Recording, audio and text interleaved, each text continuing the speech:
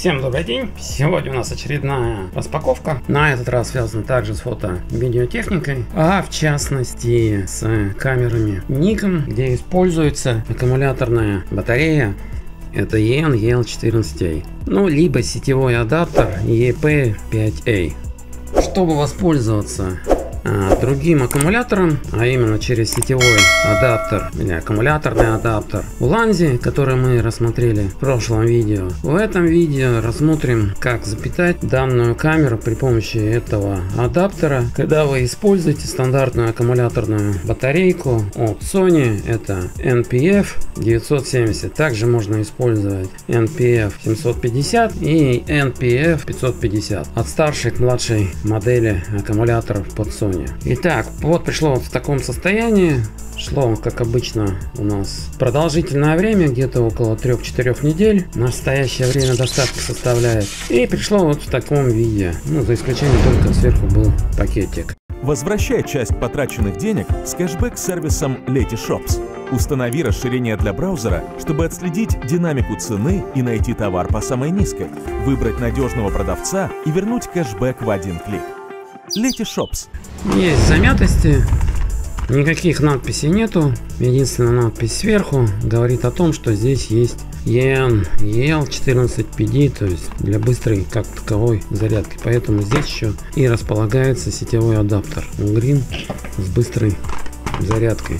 Посмотрим, как он питается. На моем канале есть переходники для сетевых адаптеров. Это EP5A вместе с сетевыми адаптерами, которые я применяю в видеосъемке, для, если есть у вас рядом сетевые вилки на 220 вольт, ну или 110 вольт, в зависимости от того, где вы находитесь. В России, либо в Америке, Китае, Японии. Лучше, конечно, в России. Так, вот такого вида. Давайте его вскрывать, смотреть, что находится внутри. Внутри ничего нету, кроме как самого этого адаптера. Вот он такого вида. Здесь кабель в виде гармошки. Ну, где-то до метр двадцать он вытягивается. Ну, если постараться. Так, где-то около метра. Здесь у нас USB-C с быстрой зарядкой. Вон. И сам вот этот адаптер EP5A, который стандартный, вместо аккумуляторной батареи вставляется и питается от его питания. Ну и этот адаптер рассмотрен на двух камерах как он функционирует. Первый это на D300 и второй вариант это D5600. Если эти две крайние модели функционируют, то и остальные модели будут функционировать без проблем. Итак, давайте посмотрим. Но еще был момент, почему я его брал. Это еще раз повторяю для адаптера. Это уже было видео на моем канале, как использовать этот адаптер вместе с follow фокусом. Можете посмотреть все желающие. Сейчас давайте посмотрим, как у нас адаптер размещается внутри двух этих камер.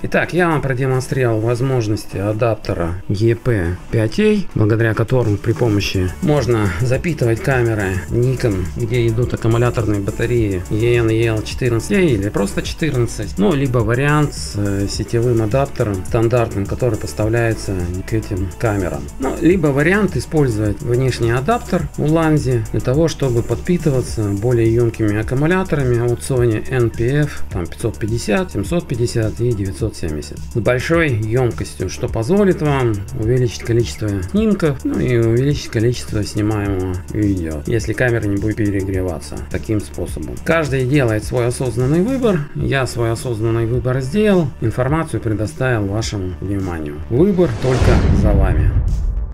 Всем спасибо за внимание, кому это было полезно, всем удачных покупок, распаковок, до следующего видео и до свидания.